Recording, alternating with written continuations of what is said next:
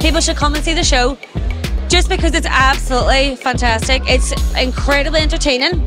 It is really moving and just loads and loads of fun. It's honest to God one of the best shows I've seen. It's absolutely brilliant. I really enjoyed this. Everything was fun.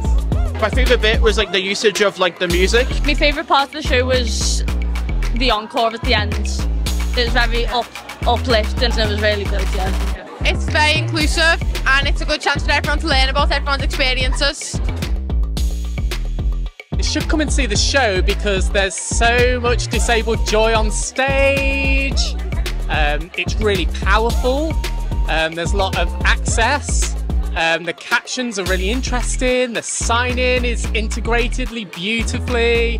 Um, so, yeah, it's fab. so fun, it's so joyous, it's so colourful, um, and everyone can see something in it that makes their heart either ache or feel a bit fuzzy. When they did the balloon animals, I didn't know that that was possible. It's a very relatable storyline from all four characters, so people feel like they're heard when they can see it. It's definitely a good show for young people. Three words to describe the show vibrant, Wholesome.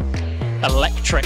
Very, very humorous. I would say it's, it's powerful, it's joyful. you should come see it because it is a vibe that you need to come and see and it is a show that you must see.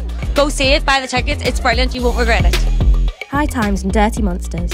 The show is full of jokes, empowerment, and feel good moments, but also explores challenging themes around ableism, homelessness, substance abuse, financial difficulties, and emotional trauma. Contains strong language and gig level music. Contains flashing lights and haze.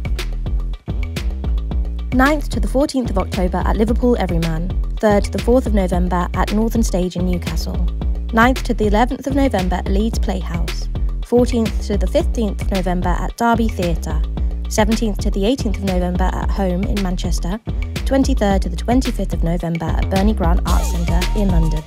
Get your tickets now.